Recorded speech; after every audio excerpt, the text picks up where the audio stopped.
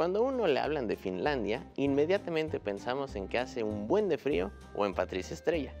Efectivamente, tanto es así que, debido a la inclinación de la Tierra y cierta posición del Sol, en los meses de noviembre y diciembre las 24 horas se viven a oscuras. Pero la economía y la gente no paran, por lo que gracias a la electricidad Finlandia y el resto de países escandinavos se iluminan.